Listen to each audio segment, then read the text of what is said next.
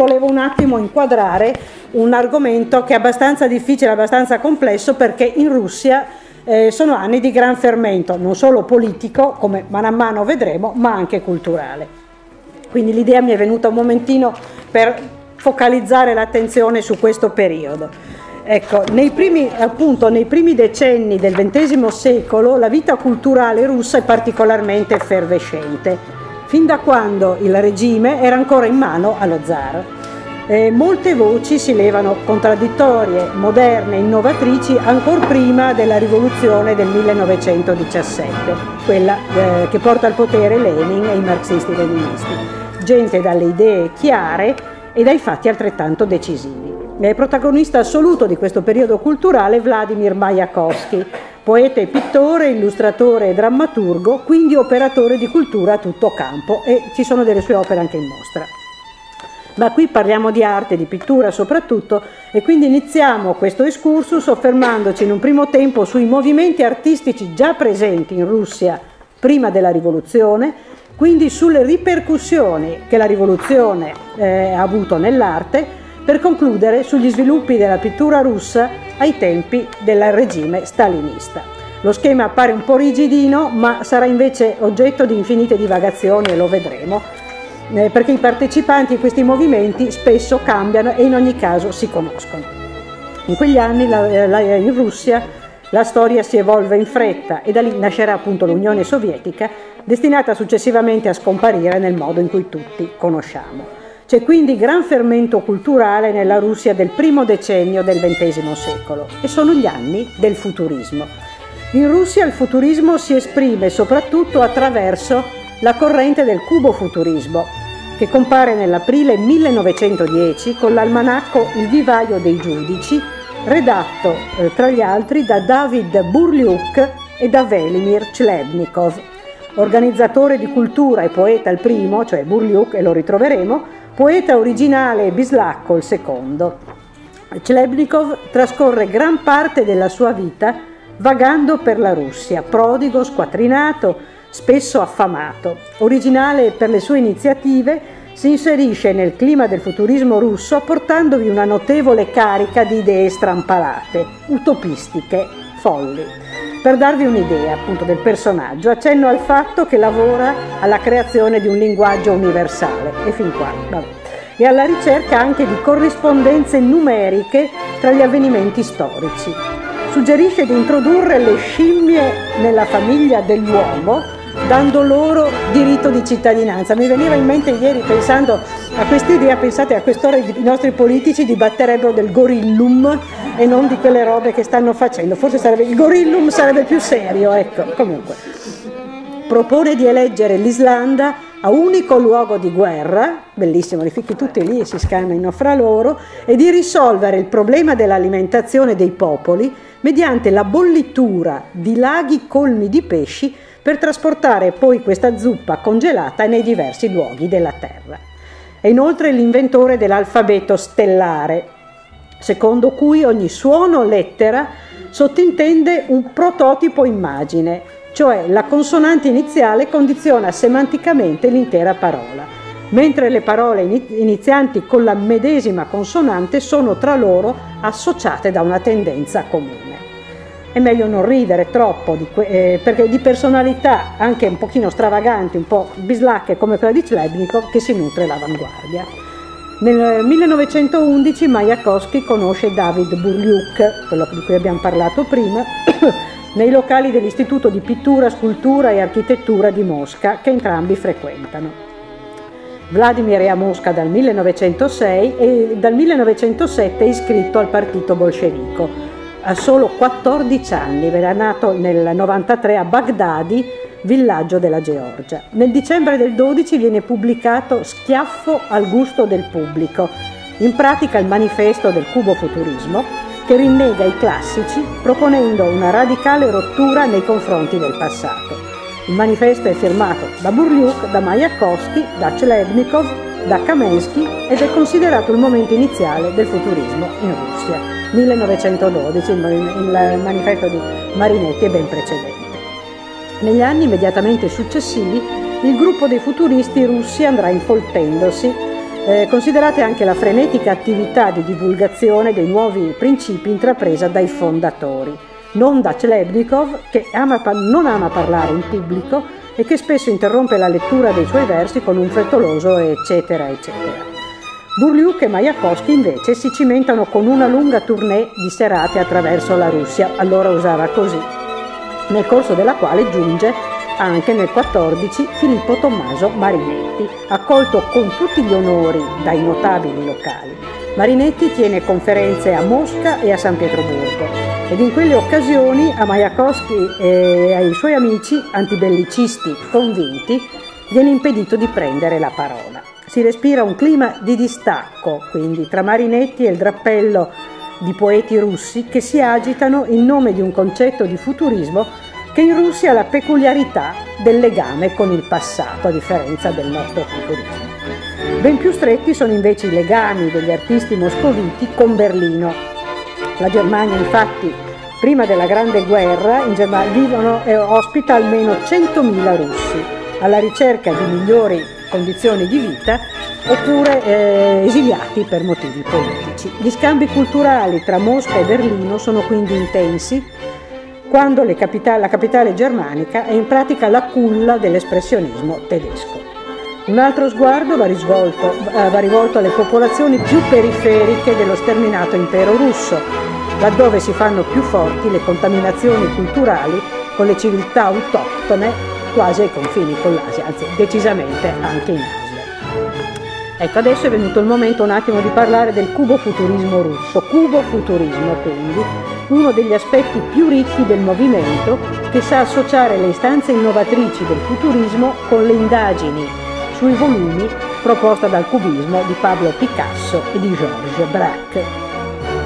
All'inizio i pittori russi di avanguardia si raccolgono in due gruppi. L'Unione della Gioventù di San Pietroburgo con Filonov, la Rozzanova e altri, la cui prima esposizione risale al 1910, e il Fante di Quadri di Mosca da cui nel 1912 uscirà il gruppo Coda d'Asino, Chagall, Larionov, Goncarova, Malevich, Tatlin, tutti i nomi che ritroveremo.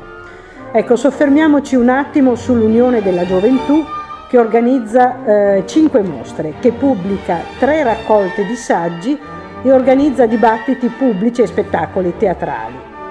Una delle principali esponenti è Olga Rozanova, moglie di Krucenik, morta giovanissima di tifo. Nel manifesto da lei siglato si legge Dichiariamo valide tutte le strade tranne quelle già battute e imbrattate da una quantità di piedi altrui e apprezziamo solo quelle opere che con, loro, che con le loro innovazioni generano in chi le guarda l'uomo nuovo. Il cubo-futurismo russo ha caratteristiche quindi dicevamo tutte particolari. La sensibilità verso i volumi e la consistenza della figura. Se puoi andare un attimo alla prossima, si, ha già un'idea. Eh, la prossima diapositiva si ha già un'idea proprio del cubo futurismo, questa è la Goncarova, comunque eh, ci dà l'idea proprio di cos'è il cubo, del, di qual, della differenza, il nostro futurismo tutto intento a eh, voler rappresentare in qualche modo prima la velocità, poi la meccanicità della, nuova, della, della vita industriale, qui invece abbiamo un ritorno alle origini. La predilezione, vediamo, per i colori intensi e allegri è molto importante, e lo vediamo anche qui, il legame con le radici tradizionali della terra. Così i pittori russi si infervorano per le icone e per le insegne delle botteghe, per gli utensili e addirittura anche i giocattoli popolari per vecchie stampe popolari, cosiddetti libchi, i ricami degli abiti tradizionali persino.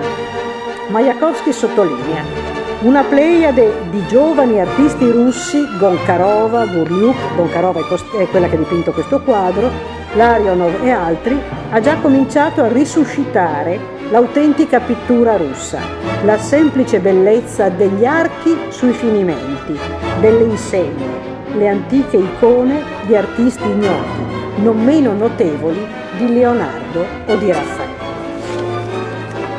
Anche la letteratura si adegua al nuovo corso e la poesia diventa fatta di parole trattate come veri e propri oggetti, non soltanto quindi espressione di concetti o di sentimenti.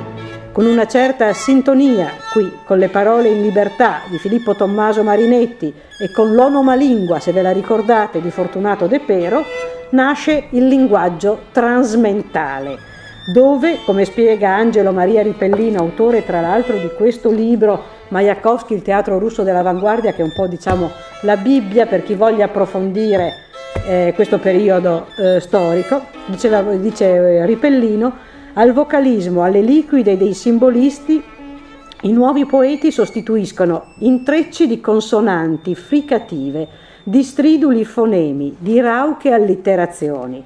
Le parole, prima sommerse nel fluire del canto, divennero quasi tangibili, sporgendo come scogli nell'alveo di un fiume disseccato quasi un lettrismo ante litteram, insomma, del lettrismo se vi abbiamo parlato, dove era tutto un movimento, un movimento letterario e anche non solo letterario, tutto centrato sulla parola.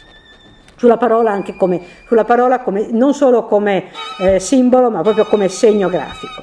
L'avanguardia russa, quindi trainata dal genio effervescente di Majakovsky, si inserisce negli analoghi e contemporanei movimenti europei, pur conservando alcune caratteristiche peculiari. Comuni agli altri movimenti sono ad esempio l'unità tra le varie arti e l'esigenza di unire l'arte alla vita. Caratteristiche peculiari sono il pacifismo e il richiamo alla tradizione popolare.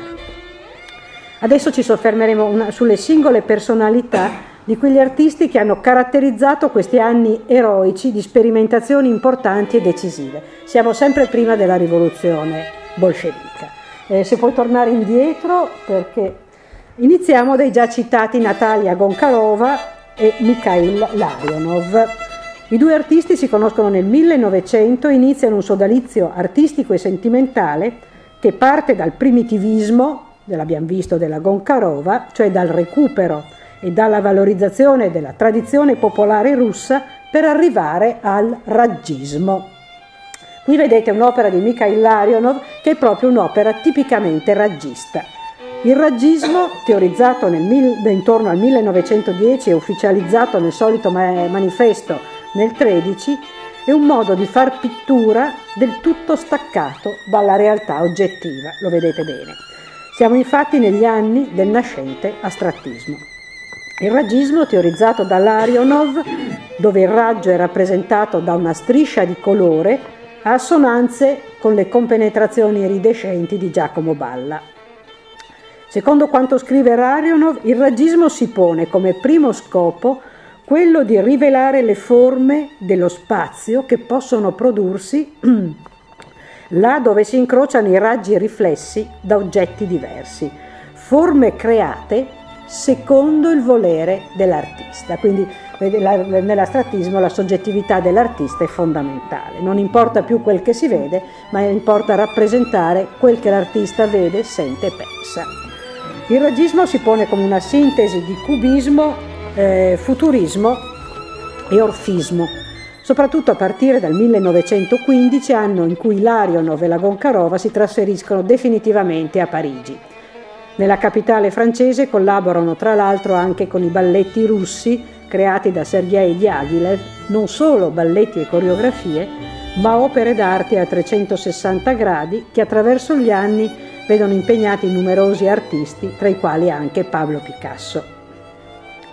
E qui ce n'era un articolo sul, qualche giorno fa sulla stampa sulla, su Diaghilev, La rivincita della decadenza. Eh, così il padre dei balletti russi svecchiò la cultura russa di inizio Novecento. Prima di trasferirsi a Parigi e prima di iniziare con i balletti russi, anche Diaghilev aveva partecipato ai movimenti di avanguardia, che è proprio un magma molto complesso che è, è bene sottolineare dove gli artisti si spostano da un campo all'altro e lo vedremo ancora. E la Goncarova, eh, se puoi andare avanti, va ricordato anche un altro artista, Ciurlionis, ma meriterebbe tutto un discorso a parte. Qui invece torniamo alla nostra Goncarova che eh, appunto come vedete predilige, eh, più si interessa parecchio alle radici russe e eh, contadine della sua patria, mentre il marito, l'abbiamo visto, è invece più interessato alla sperimentazione raggista.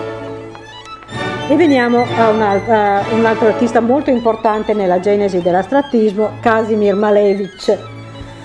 uno dei protagonisti assoluti appunto dell'arte astratta. Molto attivo nei gruppi dell'avanguardia russa dei primi anni del 1900, Malevich viene invitato ad esporre alla seconda guerra, eh, mostra scusate, allestita a Monaco dal Cavaliere Azzurro, di cui avremo occasione di parlare in seguito a proposito di Kandinsky. Nel 1913 Malevich disegna scene e costumi per l'opera La vittoria del sole di Krucenik, che è il marito di Olga Rozanova, di cui abbiamo già parlato. Ed è in questa occasione che prende inizio il cammino di Malevich verso l'astrattismo, dopo dopo che il pittore ha già vissuto una breve stagione simbolista ed una cubo futurista, dipingendo soggetti legati a lavori contadini, grazie, comunque manuali. Scrive Yolanda Nigro Covre. Delle scenografie di Malevich sono rimasti i disegni, per lo più non propriamente astratti, ma costituiti da un linguaggio futurista fortemente semplificato e geometrizzante. Scusate, ma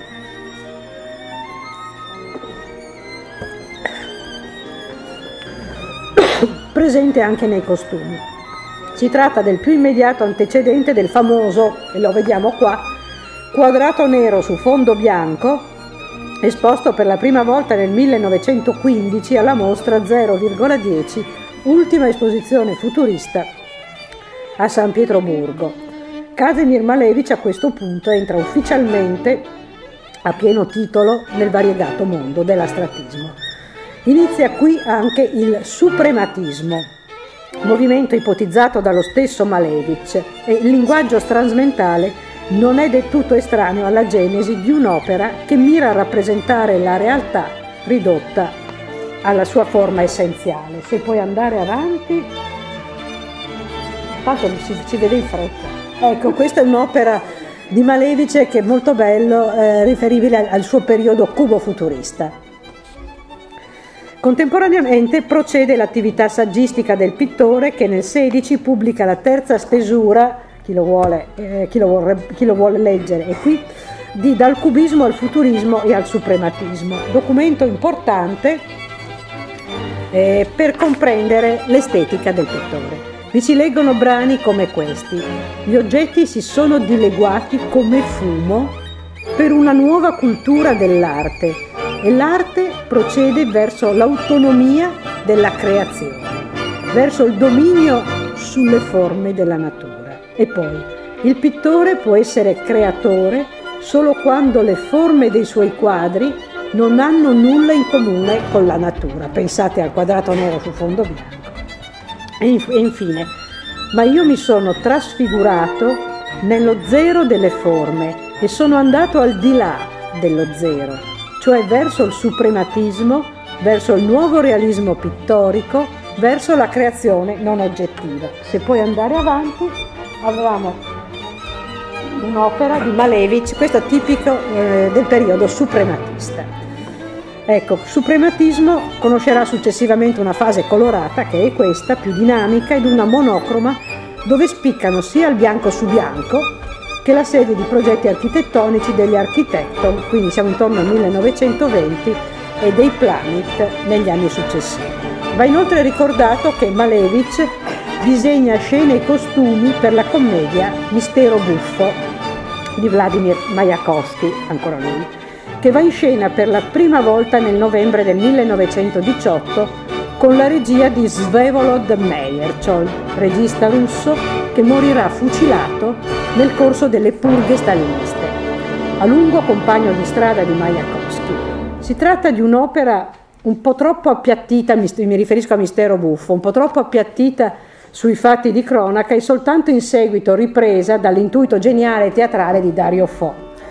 I personaggi del mistero buffo di Majakovsky sono sette paia di puri, genericamente identificabili come borghesi, e sette paia di impuri, ovvero lavoratori, tutti travolti da quel diluvio che a sua volta crea una dinamica conflittuale tra i due gruppi.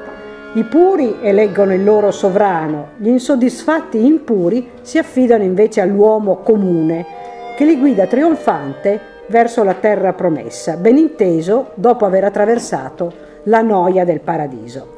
La terra promessa non è che la rivoluzione, e l'uomo comune non è un messia, ma viene ad identificarsi con la figura del poeta, l'artefice di un mondo nuovo e luminoso, colmo di promesse.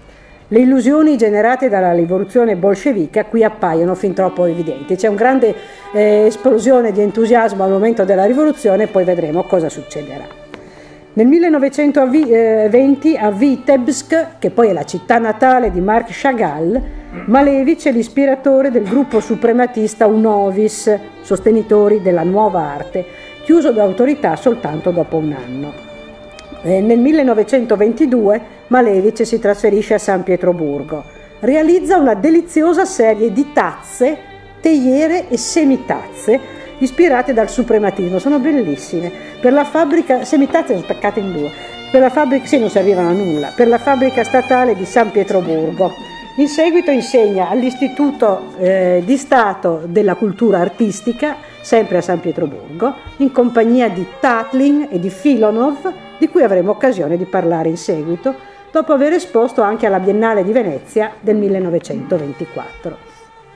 L'istituto verrà chiuso per volontà del regime nel 1926 e l'artista è costretto a trovare un temporaneo insegnamento di ripiego.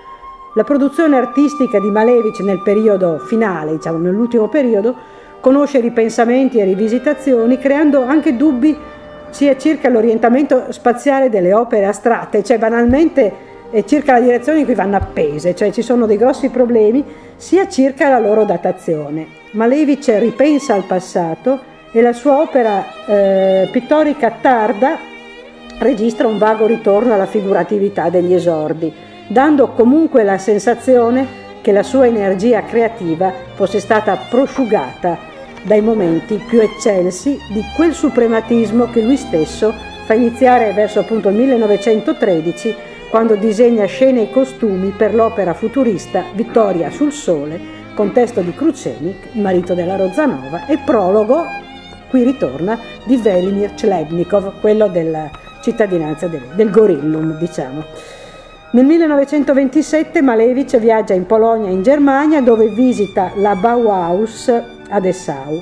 Nel 1930 viene arrestato in patria per i suoi rapporti con gli artisti tedeschi e quindi rilasciato. Muore di cancro nel 1935 e riceve un esplicito tributo alla sua genialità per via di una bara e di una tomba, se poi le volete vedere, qui ci sono le foto, concepite in puro stile suprematista. Malevich dunque si spegne vent'anni dopo aver dato un contributo fondamentale alla nascita dell'arte astratta con quel quadrato nero su fondo bianco che resta una delle pietre miliari della storia dell'arte, piaccia o non piaccia, è così. Eh, se puoi andare avanti, amico di Malevich è El Dapprima suprematista, qui vediamo una sua opera suprematista, e poi costruttivista, vedremo cos'è il costruttivismo. Artista poliedrico, pittore dal tratto geometrico deciso, lo vediamo, acceso sostenitore dell'unità di tutte le arti, alla perenne ricerca dell'esperienza della totalità, secondo il titolo della bella rassegna che il Mart di Rovereto gli ha dedicato nel 2014. Liscischi è anche noto per i PROUN, stazione di transito dalla pittura all'architettura, secondo la definizione dell'artista stesso, in sostanza erano dei modelli ehm, eh, realizzati soprattutto all'epoca del suo soggiorno a Vitebsk tra 1919 e 20 all'indomani della rivoluzione bolscevica. Se puoi andare avanti, per favore, grazie. Pavel Filonov, ci, ci sono delle sue opere in mostra, è artista non eccentrico, dedito allo studio dell'arte analitica che intende sintetizzare ideali spirituali, religiosi e rivoluzionari. Lo fa teorizzando la fioritura universale, cioè un'esperienza di creatività insieme mistica e materiale, affascinante nei risultati che vanno soprattutto guardati. Tra tutti gli artisti dell'avanguardia, Filonov è quello che può vantare il maggior numero di allievi e alcuni di loro gli resteranno vicini anche quando la sua scuola verrà messa fuori legge. E Stalin non guardava in faccia nessuno. Filonov riesce a scomporre l'esperienza cubo-futurista in una colorata avventura sensoriale e psichica, e qui lo vediamo, attraverso tasselli di colore che dal mosaico rimandano ad una più attenta penetrazione psicologica oltre che puramente tecnica. Anche poeta e scenografo, nel 23 fonda il gruppo dei maestri dell'arte analitica che si propongono di fare della pittura una vivace esperienza appunto dei sensi e della psiche. Se puoi andare avanti per piacere. Qui passiamo ad Alexandra Exter, una donna eh, insieme come di donne ce ne abbiamo già, abbiamo già parlato della Rozanova, della Goncarova e qui parliamo di Alexandra Exter, pittrice, artista a tutto, eh, tutto campo in quanto si occupa anche di teatro, di moda e di arredamento di interni. Viaggia spesso a Parigi dove si trasferisce definitivamente nel 24. Vicina alla Goncarova e all'Arionov si accosta al suprematismo.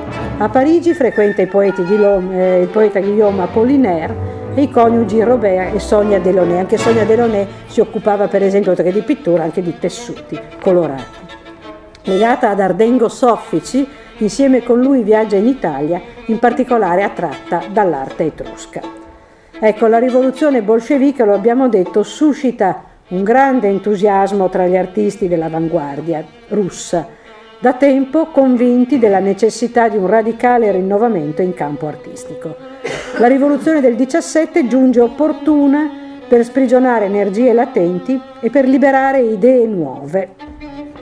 A causa del conflitto in corso, prima guerra mondiale, anche Mark Chagall e Vassili Kandinsky si trovano in Russia in quegli anni e partecipano attivamente alla vita artistica russa all'indomani della rivoluzione, prima di lasciare definitivamente la madre patria con destinazione Berlino e successivamente Parigi. Ed è proprio a Mosca nel 1916 che Kandinsky incontra Nina, parecchio più giovane di lui, la donna che gli sarà accanto fino alla fine dei suoi giorni e che lo ricorderà in un bel libro di memorie, Kandinsky e io. E veniamo quindi a considerare il ruolo di Marc Chagall e di Vassili Kandinsky in quel periodo particolarmente turbolento per la storia eh, russa. Eh, se puoi andare avanti, per favore. Non è infatti ter- interamente russo il tempo di Marc Chagall, che nasce, lo abbiamo detto, a Vitebsk, quieto villaggio della Bielorussia, per morire a Saint-Paul-de-Vence. La sua lunga parabola artistica 1887-1965 è caratterizzata da un legame profondo con la sua terra di origine, con la sua famiglia, con la religione ebraica alla quale appartiene. Chi ha occasione, avrà occasione di andare a Milano a vedere la rassegna che è in corso, lo, lo noterà bene e l'abbiamo già sottolineato più volte. Pittore e poeta, e visionario dallo sguardo incantato, l'anticonformista Chagall nel 1910 è già a Parigi, dove vive di stenti, lavorando alla Ruche, alveare di studi pittorici affittati a poco prezzo a fianco di Chaim Sutin, del quale non condivide le macerazioni interiori. Qui rivisita il suo fantastico mondo russo alla luce di, soluzioni, di nuove soluzioni figurative. L'arte mi sembra soprattutto uno stato d'animo, scrive nell'autobiografia La mia vita, scritta un po' presto, cioè a Mosca tra 1921 e 22. Pensate, era nato nell'87, c'era già a 30 anni, ah, cos'è, fatti i conti, c'era già messo nel, um, nel 21 c'era già messo a scrivere l'autobiografia. Vabbè. Nel 1914 è di nuovo in punto in Russia dove sposa l'amata Bella, quella con cui volteggia mano nella mano nell'alto del cielo, in un momento di estasi tanto artistica quanto sentimentale. Io non ho scelto la solita Bella, ma questa bella, la solita Bella, Bella con la B maiuscola, cioè la moglie, ma questa immagine di Vitebsk che mi sembra che eh, proprio eh, eh, esprima al massimo l'amore per le radici eh, per le radici russe, per le radici bielorusse di Vitebsk e anche per la religione ebraica perché abbiamo visto come tanti simboli ebraici ricorreranno sempre nella, nella, pittura, nella pittura di Chagall, l'ebreo errante, qui lo vediamo. Ecco la rivoluzione russa raccontata da Chagall nella sua autobiografia. Colpo di Stato. Lenin, presidente del Sovnarkom, scusate. Lunacharsky, presidente del Narkompros. C'è anche Trotsky e Zinoviev pure. Urichi controlla gli ingressi dell'Assemblea Costituente. Sono tutti là e io a Vitebsk io posso fare a meno di mangiare per diversi giorni e restarmene seduto presso un mulino a osservare il ponte, i mendicanti, i disgraziati gravati di fardelli. Posso attardarmi davanti agli stabilimenti termali e vedere uscire i soldati e le loro donne con i rami di betulla in mano. Posso andare a zonzo in riva al fiume, vicino al Campo Santo posso dimenticarti Vladimir Ilich Lenin e così pure Trotsky. E invece, anziché starmene in pace a dipingere i miei quadri, ho fondato una scuola di belle arti e ne sono diventato direttore, presidente e tutto ciò che volete. Questo scrive Chagall. Marc Chagall invita Casimir Malevich, pensate, eh, la pittura totalmente opposta, pensate al quadrato, al quadrato, nero su fondo bianco, invita comunque alle belle idee di invitare Malevich a insegnare proprio all'istituto d'arte da lui creato. Di quello istituto Malevich diventa direttore e cons- ovviamente consumando una dolorosa rottura proprio con Chagall, Beh, incompatibili, no? Lo vedete. Ma al di là dei fatti contingenti, il modo appunto, al di là delle rivalità, ripicche, il modo di intendere la pittura di Chagall e di Malevich è, è estremamente diverso. Le immagini parlano ben chiaro. Malevich procede per la sua strada. Marc Chagall invece rientra a Mosca per dipingere i pannelli del famoso teatro ebraico e quindi nel 22 lascia definitivamente la Russia per trasferirsi eh, prima a Berlino e subito dopo a Parigi. Adesso vi leggo Due liriche di Chagall, Chagall abbiamo detto era anche poeta, che spiegano bene il suo profondo rapporto con la terra natale. Dal libro L'angelo sui tetti che l'amico Angelo Cusmano, un amico di Genova, ha tradotto direttamente dal russo, dandogli un'impostazione, una un poetica ritmica. Eh, dunque, L'angelo sui tetti è anche la poesia che ho scelto. Ti ricordi di me, o città mia, fanciullo porta sbattuta dal vento, Fiume, dalla memoria trai un canto, ricorda chiaro e forte il giovinetto che qui sedeva sulle tue panchine, sempre in attesa della tua chiamata.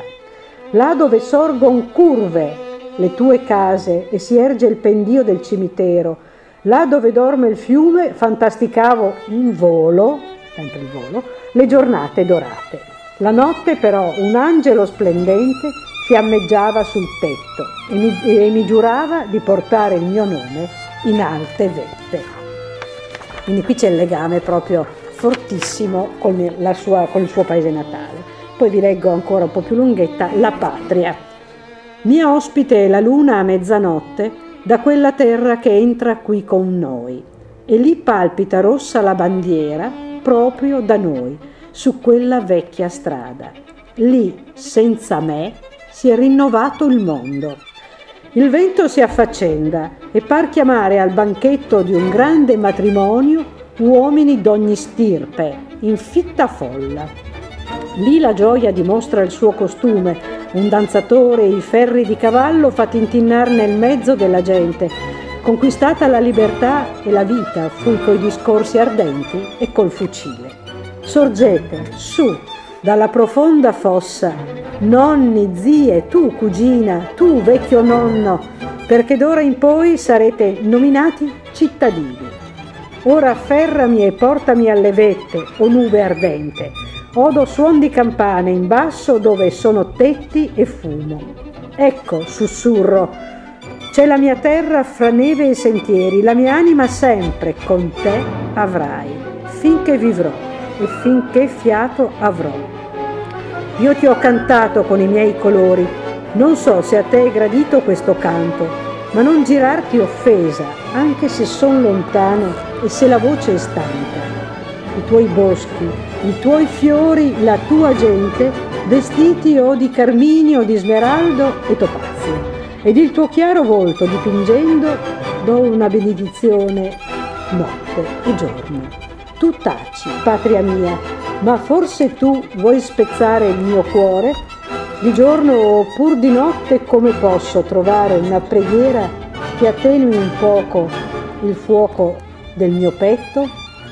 Io sto qui, inginocchiato, con segreta, recondita speranza, e il sangue in calda fantasticheria ti mando, il mio respiro come sgorganti lacrime per tutta la mia vita. L'aria azzurra e fluttuante barcolla come un masso nell'altezza ed io stesso con lieve sorriso muoio e giaccio in silenzio. Forse mia patria sei con me offesa, ma sono aperto qui, davanti a te, come bottiglia che è appena stappata, o d'un vaso con l'acqua alla portata. Di anno in anno il distacco vien più forte, ma torno a te nel buio, e tu, mia terra amata, coprirai la mia tomba di cenere. Ecco, vede il, il tema della bellissima, vabbè, l'ho scelta anche se è un po' lunga proprio per sottolineare il legame sempre vivo di Chagall con la sua terra natale. E veniamo a Vassili Kandinsky, se puoi andare avanti per favore. Beh, qui ho scelto la composizione quarta, uno, varie, uno dei, dei quadri astratti di Kandinsky. Kandinsky torna in Russia nel 1914, dopo aver tanto viaggiato e dipinto, era nato nel 1866, quindi più vecchiotto di tutti, soprattutto dopo aver vissuto un'esperienza fondamentale a Monaco di Baviera, a partire dal 1896 insieme con Gabriel Münter, Varian Verefkin e Alexei von Jaulensky. Il Kandinsky che torna in Russia è ormai un artista non giovanissimo e comunque già affermato.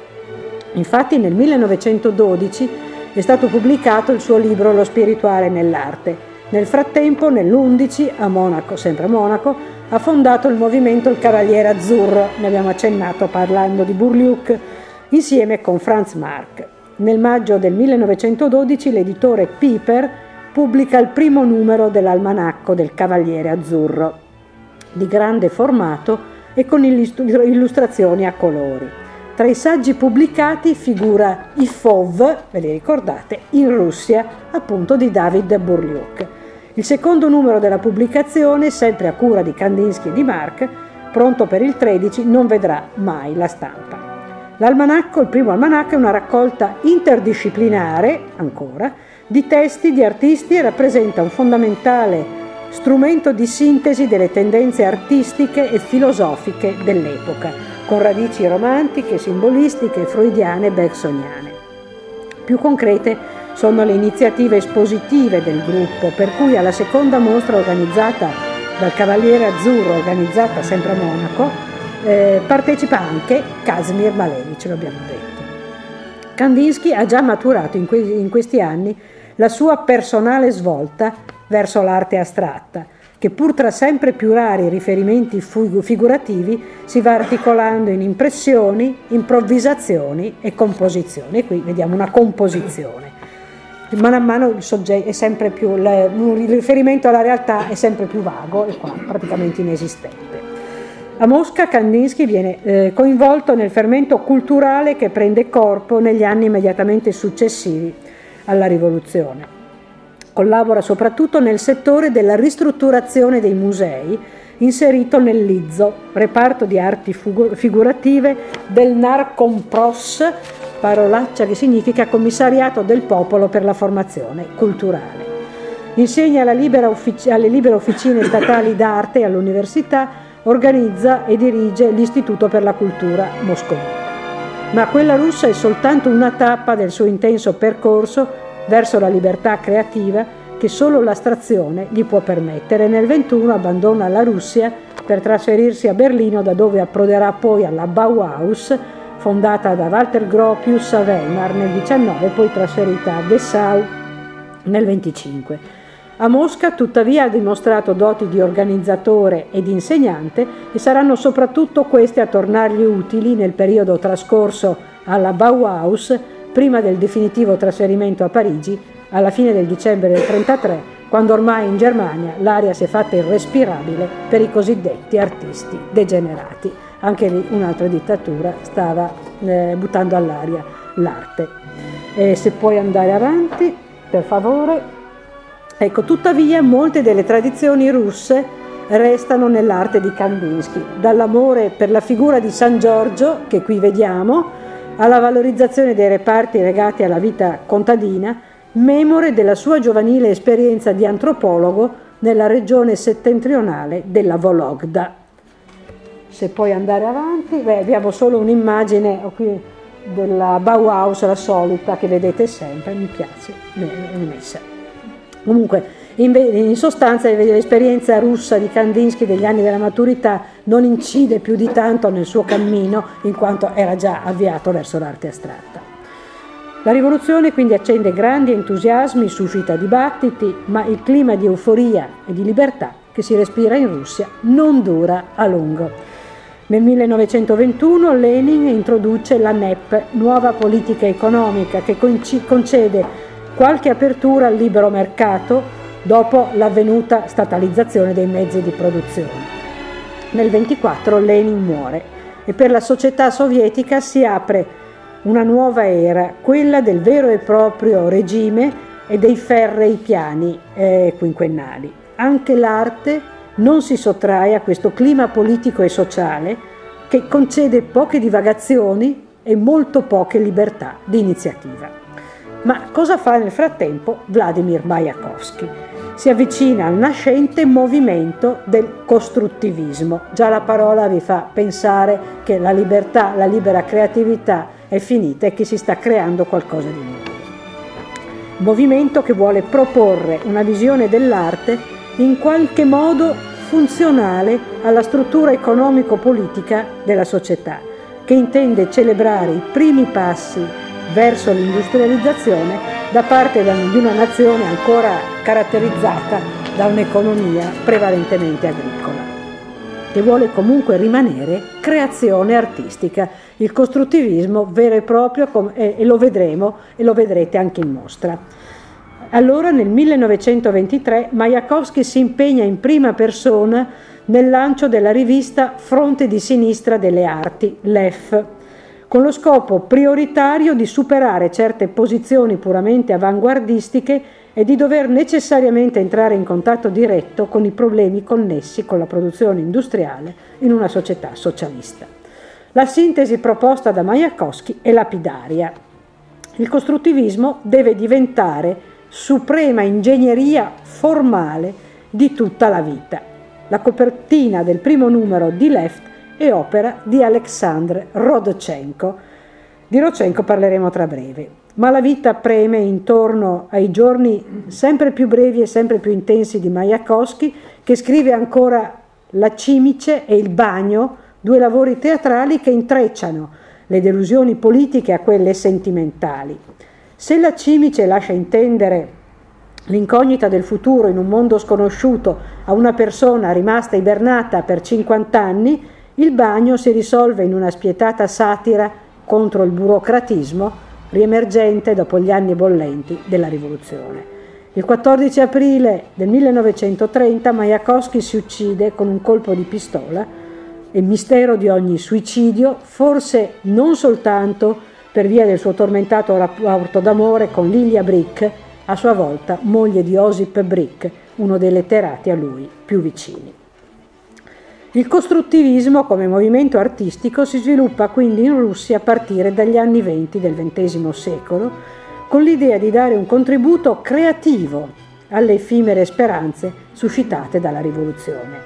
Si è appena fatto cenno al contributo teatrale portato da Vladimir Mayakovsky a questo movimento, ma nell'ambito del, del costruttivismo, prima che ripieghi verso la deriva del più bieco realismo socialista, spiccano due, due, personalità particolarmente interessanti, quella di Alessandro Rodchenko, l'avevamo accennato, e di Vladimir Tatlin, che peraltro eh, avevano già fatto parte dei gruppi di avanguardia degli anni antecedenti alla rivoluzione, ma che soltanto in questo nuovo contesto storico-artistico, quello del costruttivismo, trovano la loro massima originalità. Alexander Rodchenko è artista alquanto poliedrico, eh, pittore, eh, eh, fotografo, scenografo, grafico, scultore, architetto e disegnatore. E se puoi andare avanti per piacere, collabora con Majakowski in numerose iniziative. Questa è una fotografia che Rodchenko ha scattato a Majakowski. Innovatore in ogni campo dell'arte, si pone sempre contro corrente. Sua è la foto del corpo di Majakowski subito dopo il suicidio, ve l'ho risparmiata, vi ho fatto vedere un Majakowski vivo e anche un bell'uomo, appunto, ultima testimonianza di un'amicizia vera e di un importante sodalizio artistico. Rodchenko crea costumi teatrali, sculture spaziali, mobili funziona- funzionali, manifesti. Lavora molto per la pubblicità. A partire dal 1923 usa il fotomontaggio, poi se volete ne ve ne faccio vedere uno da questo, da questo um, catalogo di una mostra che parla appunto soprattutto di Majakowski e del regista teatrale Meyercholl. Dunque dice, um, usa il fotomontaggio per illustrare riviste ed anche cartelloni pubblicitari, allo scopo di trasmettere messaggi anche di carattere politico alle masse analfabete. L'immagine è sempre stata, fin dai tempi della Controriforma, la Bibbia degli, degli analfabeti. Se puoi andare avanti, anche se per quanto in un contesto ben diverso. Si cimenta con i ritratti e con le copertine della rivista Lef, ha rapporti con la tedesca Bauhaus, Rieccola, e soprattutto con omologhi eh, Naghi. La fotografia sembra essere al centro dei suoi sempre più molteplici interessi. Qui vediamo una fotografia eh, scattata da Rodchenko. L'ho scelta per quei giochi di ombre che ricordano un attimo anche l'edificio della Bauhaus e quei pieni e quei vuoti che avete visto prima. E poi perché? Io mi, di cinema non me ne occupo molto ma abbiamo tutti in mente penso guardando questa scalinata la scalinata della corazzata Potionchi di Eisenstein. E Eisenstein è stato un regista eh, che ha fatto parte di questo gruppo di avanguardia. Adesso noi qui non parliamo di cinema Volevo solo citarvi, visto che abbiamo un attimo di tempo, una curiosità. Majakowski fece anche piccoli, delle piccole pièce cinematografiche, perché il cinema allora attirava molto gli artisti, una delle quali, La signorina il teppista, è tratta da un racconto di Edmond, da una novella di Edmondo De Amicis, La maestrina degli operai. No, questa era solo una piccola curiosità. Dice, ehm, Angelo Maria Ripellino dice che non è una delle più, usci, delle più riuscite, la maestrina degli operai, per dire che i legami, anche che, i legami culturali importanti che ci sono stati fra Italia e Russia, anche se eh, le comunicazioni erano quelle che erano. Ecco, ho scelto questa foto di Rocenco proprio per questo particolare. Ecco. E dal punto di vista pittorico abbiamo un bel quadro di Roccenco alla mostra di Palazzo Chiablese, attraversato il, eh, Roccenco ha attraversato il linearismo per approdare ad un'attività di grafico e di fotografo che gli consente di sopravvivere al regime stalinista. Tutti gli altri hanno avuto difficoltà, lui facendo il fotografo e di, mm, il grafico riuscì a sopravvivere. Si interessa anche di cinema, appunto, arte allora i primi passi. E veniamo infine a Vladimir Tatlin, di professione inizialmente fa il marinaio, per cui ha occasione di viaggiare parecchio, ma è noto soprattutto come pittore, architetto e scultore. Se puoi andare avanti per piacere, alle sue creazioni conferisce una genialità particolare proprio nel periodo in cui il costruttivismo è ancora un movimento colmo di speranze per la società futura da costruire. A Parigi ha occasione di conoscere Pablo Picasso e questo incontro non cade nel nulla. Tatrin viene ricordato soprattutto per due opere. Il progetto mai realizzato per il monumento della Terza Internazionale e per il Le Tatlin. Qui vediamo questo, il progetto per il monumento della Terza Internazionale Comunista, ipotizzato fin dal 1918. È un'ambizione grandiosa con l'idea di, iniziale di superare in altezza addirittura la Tour Eiffel. Un, rimane un progetto.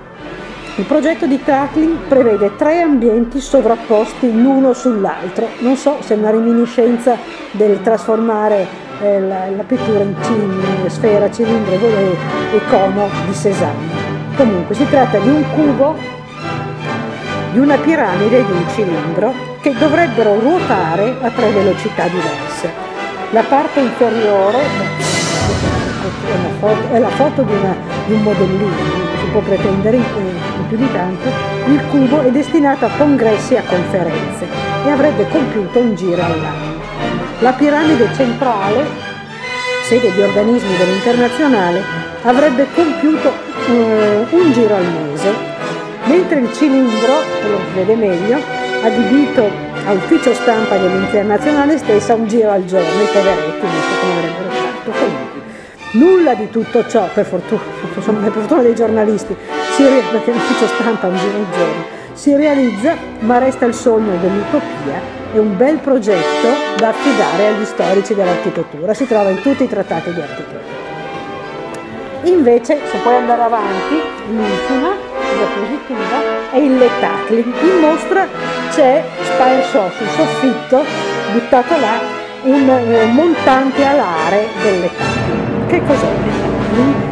Dunque, Tapling volante è una parola sintetica del verbo russo tapling e il link che evidentemente non so, È un oggetto concepito da Tapling sempre alla fine degli anni 20 del secolo.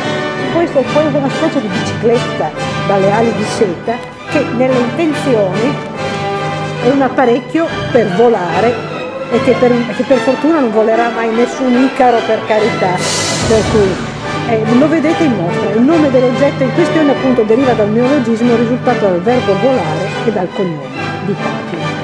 Ecco, dopo la stagione eroica, quindi fin qui abbiamo ancora, il costruttivismo ancora si impone ancora con delle iniziative di creatività. Eh, però subito dopo, eh, abbiamo detto, Lenin muore nel 24, eh, Stalin non apprezza molto queste, questa libertà di creatività artistica e inizia per l'Unione Sovietica il periodo del realismo socialista e della dittatura di Stalin. Ma qui eh, ma allora eh, non c'è più spazio eh, per la ormai fu avanguardia. Ecco, grazie, io avrei finito.